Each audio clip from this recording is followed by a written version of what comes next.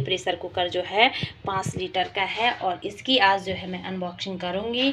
और सबसे पहले तो इसके साथ आ रखी है एक बिजली की लीड। इसे जो है मैं बोर्ड से कनेक्ट करूँगी।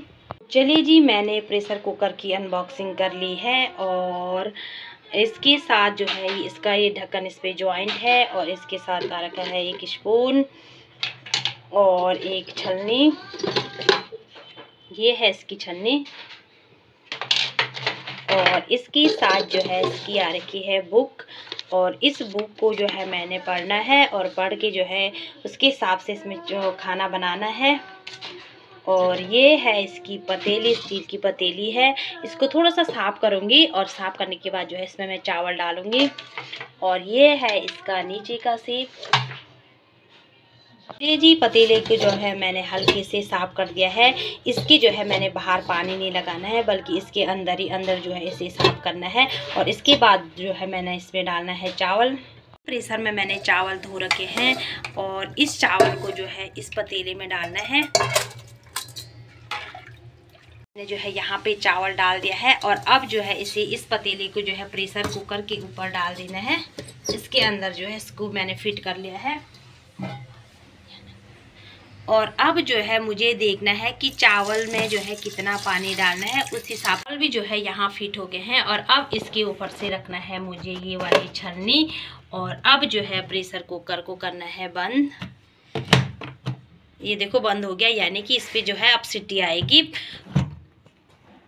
क्या करना है? इसके साथ जो ये इलेक्ट्रिक लीड आ रखी है, इसे जो है यहाँ फिट कर देना है। तो ये इलेक्ट्रिक लीड थी, उसे जो है मुझे यहाँ पे फिट करना है और यहाँ से बटन ऑन कर देना है। तो चलिए जी, अभी जो है मैंने वहाँ से बिजली स्टार्ट कर दी है और प्रेशर को जो है एक स्टूल में रखा हुआ है।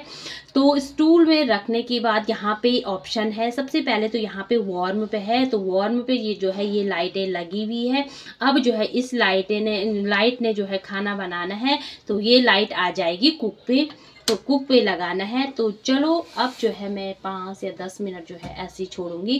तब तक जो है मेरा खाना तैयार हो जाएगा और आप लोगों को भी दिखाऊँगी मैं।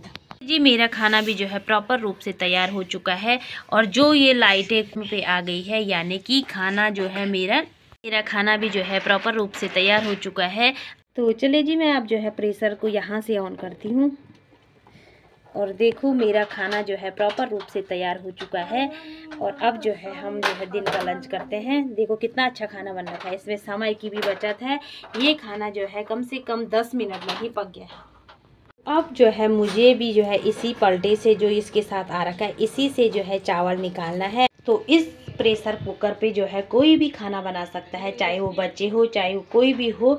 तो इसकी खास बात ये है कि इस में जो है सिलेंडर की भी बचत है और सिर्फ़ बिजली यूज़ हो रही है इसमें। और मेन बात यह है कि बच्चे भी जो है खाना बना सकते हैं। आज जो है मैंने इसकी अनबॉक्सिंग कर दी है और अब जो है ज़्यादातर इसी में बनाऊँगी क्योंकि ये समय एवं सिलेंडर की बचत कर रहा है। समय भी जो है कम से कम इसने लिया है दस मिनट। दस मिनट में मेरा पूरा चावल जो है प्रॉपर रूप से तैयार हो चुका था।